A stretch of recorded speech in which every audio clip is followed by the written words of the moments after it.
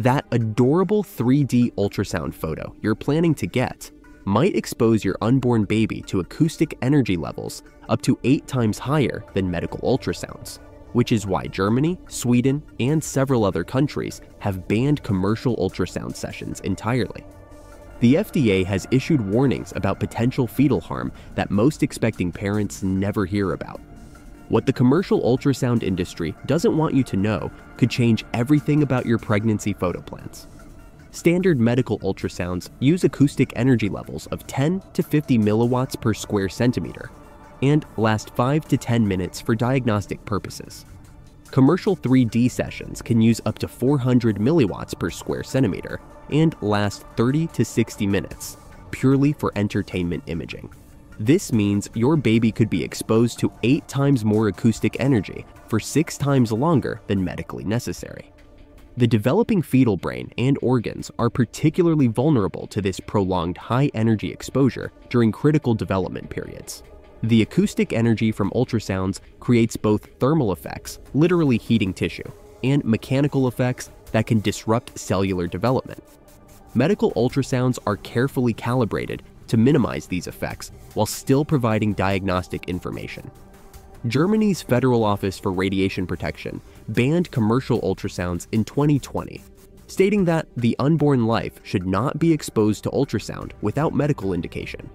Sweden restricts non medical ultrasounds, and France requires medical supervision for all fetal imaging.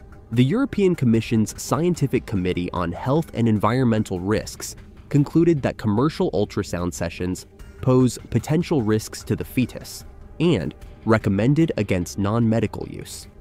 Australia's health department advises against commercial ultrasound imaging during pregnancy. Meanwhile, the United States has virtually no regulation of the commercial ultrasound industry. Anyone can purchase ultrasound equipment and offer sessions with minimal training, often in shopping malls and standalone studios, with no medical oversight. The American Institute of Ultrasound in Medicine has issued position statements against non medical ultrasound use, but these have no legal force and are largely ignored by the commercial industry. Research published in the Journal of Ultrasound in Medicine found that extended ultrasound exposure can raise fetal tissue temperature by up to 2.5 degrees Celsius. This temperature increase can disrupt protein synthesis and cellular development, particularly in the rapidly developing fetal brain. The thermal effects are most concerning during the first trimester when major organ systems are forming.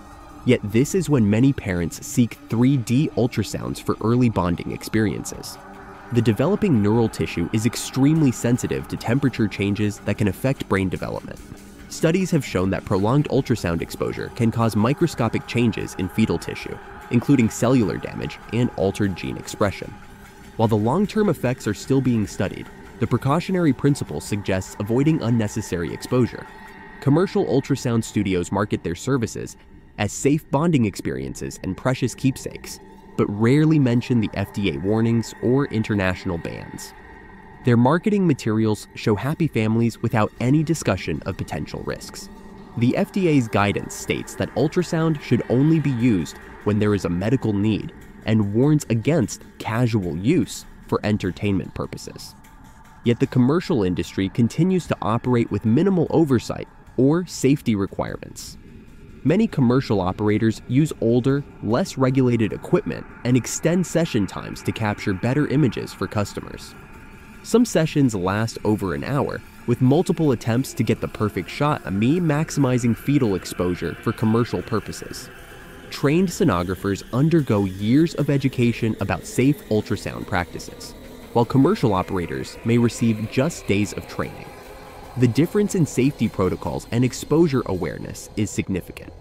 The choice about 3D ultrasounds should be made with full knowledge of the risks that several countries have deemed significant enough to ban these services entirely.